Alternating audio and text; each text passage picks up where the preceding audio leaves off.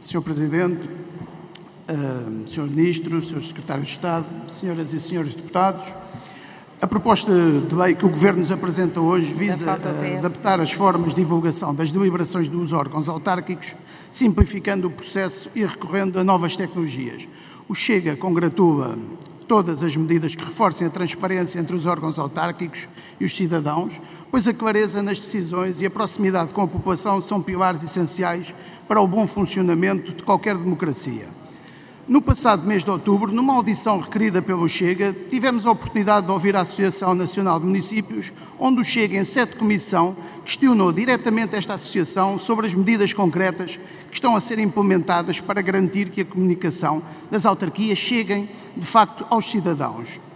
Congratulamos-nos por esta preocupação ter sido transmitida ao Governo e é com agrado que agora vemos uma tentativa de resposta a esta questão. Apesar de saudarmos esta proposta, ela está, no nosso entender, incompleta.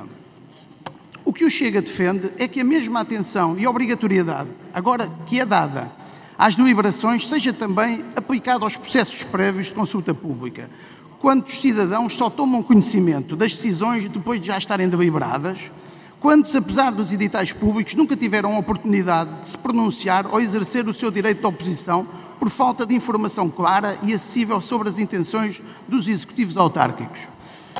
Para o Chega, é tão ou ainda mais importante que os municípios tenham acesso à informação antes de serem tomadas as decisões. A verdadeira transparência e participação ativa dos cidadãos começa precisamente no acesso a esta informação em tempo útil e não apenas após as deliberações já estarem concluídas.